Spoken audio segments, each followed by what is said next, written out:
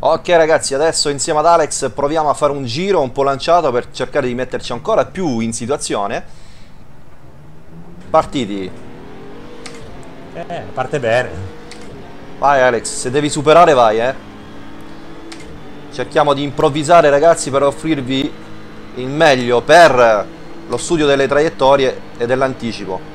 Quindi Alex, vedete, ho dovuto alzare il piede perché Alex giustamente cerca di disturbarmi. Vediamo se posso anticipare.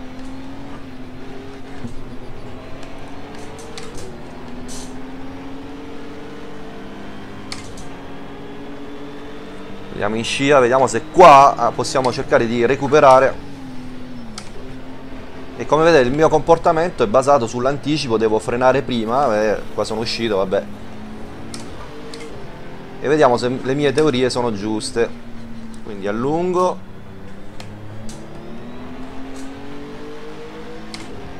E cerchiamo di recuperare. Comunque Alex va forte attenzione non è che uno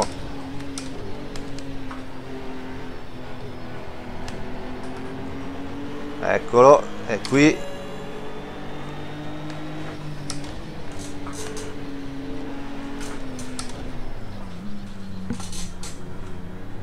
Vedete la scelta?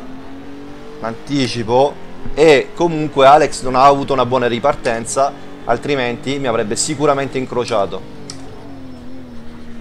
Qui lascia andare.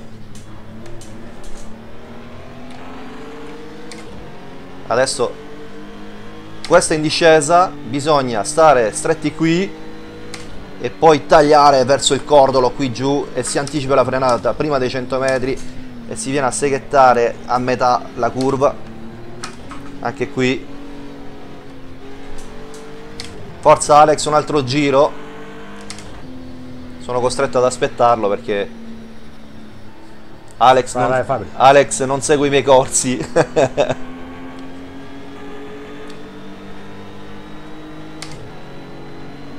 Quindi qui io per percorrere meno strada vengo a tagliare. Anticipo pensando che dietro c'è un avversario e cerco di mettermi in mezzo ma comunque fa uno staccatone pazzesco, quindi vengo a stringere, proviamo a incrociarlo, partito molto bene, io ero con una marcia troppo alta e i regimi del mio motore erano troppo bassi, ma bellissima mossa comunque di Alex, che ha seguito la manovra alla perfezione.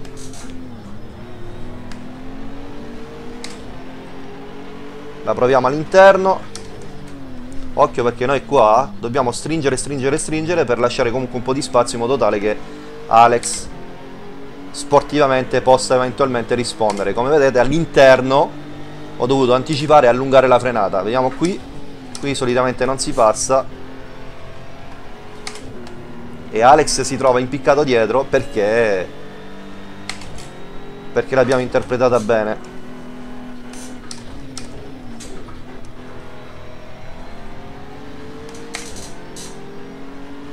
Come vedete gioco sempre di anticipo, sia sulla frenata e sia in attesa di quello che può succedere con il mio avversario. Io mi fermerei qui perché credo che abbiamo fatto vedere già parecchie cose molto interessanti, l'attacco, il contrattacco, l'incrocio e lo sfruttamento della traiettoria e l'anticipo fanno sì, ragazzi, che si può veramente migliorare, oltre che sul tempo anche in pista e soprattutto se il tutto è corredato da un comportamento sportivo, rende le gare veramente molto belle e interessanti da vivere.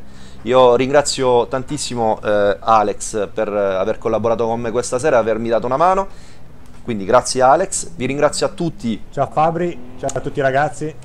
Quindi vi ringraziamo per averci seguito, noi ci vediamo al prossimo video, da Fabris e Alex, è tutto, ciao!